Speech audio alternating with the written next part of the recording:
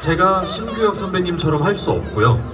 유승곤 성우님처럼 할 수 없고 어, 강수진, 김영선, 남도영 성우님처럼 할 수 없어요. 그러니까 극복은 사실 힘듭니다. 하지만 나만의 좋은 목소리를 만들 수는 있어요. 누구처럼 할 수는 없지만 본인이 가지고 있는 어떤 음성기관에서 발성과 조음기관을 발달시켜서 가장 좋은 소리를 끌어내는 건 확실하게 가능하다고 말씀을 드리고 싶습니다. 다만 거기서 조심할 게 지금 좋아하는 게 너무나 극강의 초미성의 아름다운 분들이기 때문에 내 목소리는 왜 저만큼 아름답지 않지? 저도 안 돼요. 안녕 블루베리 안 돼요. 되네? 도영이 형 사랑합니다. 너무 친해가지고 묻었어요.